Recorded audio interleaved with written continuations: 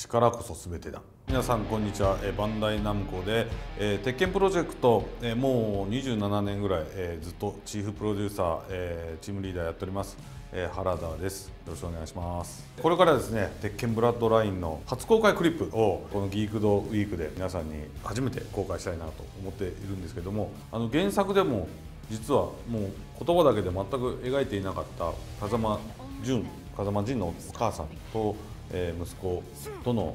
こう屋久島での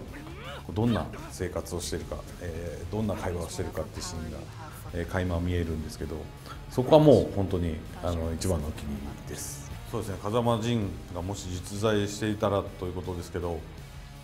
う本当に僕から風間仁には一言いつもひどい目に遭わせててごめんなさいって感じですね。はい。鉄拳シリーズも結構長く続いてるんですけど実はですねあの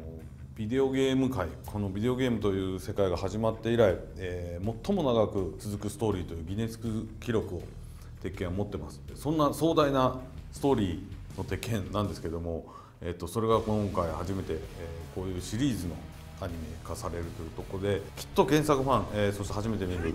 人にもなるほどこういう話なんだと。なるほどこういうことがあったんだ。っていうふうにいろんな発見があるものになってると思いますのではい、えー皆さん、えー、ネットフリックスの、えー鉄拳ブラッドライン皆さん楽しみにしててください、えー鉄拳プロジェクトの原田でした。